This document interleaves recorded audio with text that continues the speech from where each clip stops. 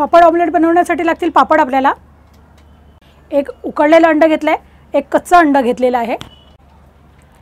एक कांदा लागेल थोडासा बारीक चिरलेला थोडीशी कोथिंबीर लागेल बारीक चिरलेली थोडासा टोमॅटो लागेल बारीक चिरलेला. लाल तिखट थोडंसं थोडासा चाट मसाला मीठ चवीनुसार.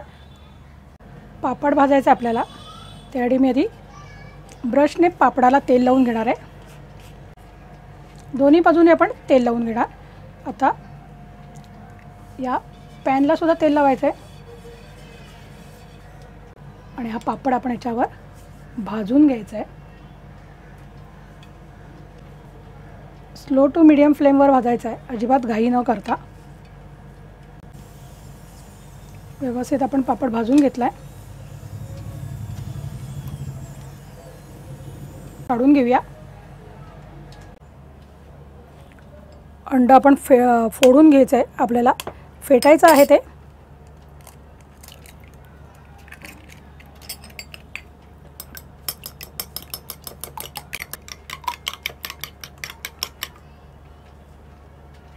यात घालूया कांदा. कांदा आवडीप्रमाणे आपण कमी जास्त करू शकतो. कोथिंबीर. मीठ चवीप्रमाणे. लाल तिखट आणि चाट मसाला. हे सगळं एकत्र मिक्स करून घ्यायचं आहे अंडं आपलं व्यवस्थित फेटून झालं आहे चला ऑमलेट करूया आपण. गॅस एकदम स्लो ठेवायचा आहे थोडं तेल घालायचं. हे तयार आपण हे फेटलेलं अंडं घालायचं आहे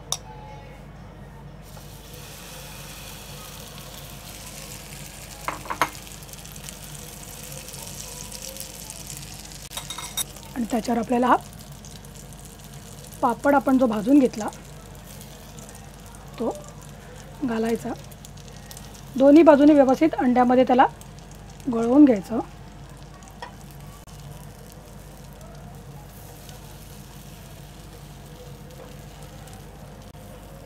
आणि याला पलटायचं आपल्याला.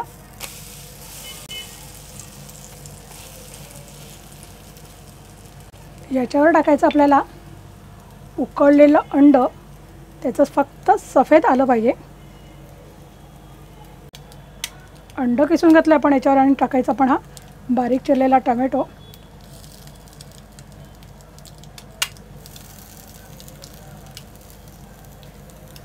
याच्यावर आपण थोडंसं मीठ घालायचं.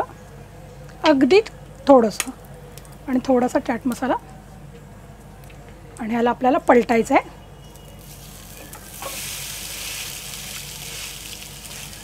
अगदी सोपं असं पापड आमलेट आहे हे आणि अतिशय सुंदर लागतं. आणि याला आता आपण काढून घेणार आहोत. तयार आहे आपलं पापड ऑमलेट अगदी मस्त झालेलं आहे. पिझ्झा कटरने कट केल्यामुळे छान त्यातला पिझ्झाचा न लूक आला आहे नक्की करून बघा नक्की आवडेल तुम्हाला. आणि तुम्हाला माझी ही रेसिपी आवडली असेल तर नक्की लाईक द्या. आणि माझ्या चॅनलला सबस्क्राईब पण जरूर करा.